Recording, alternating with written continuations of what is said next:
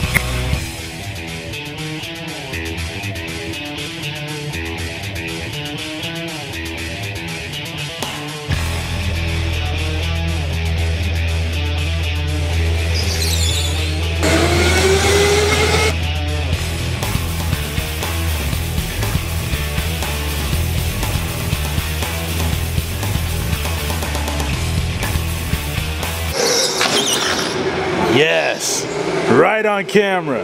We did the Grand Prix track, now we're gonna do the drift track.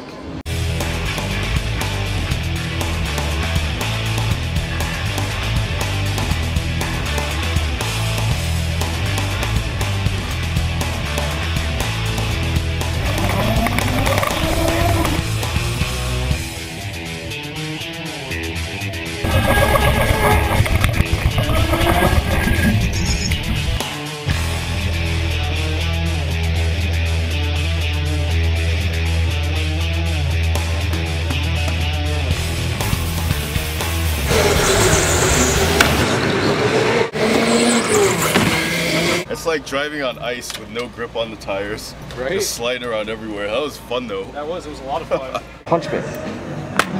Hard. you did that, bro. You did that, Yes!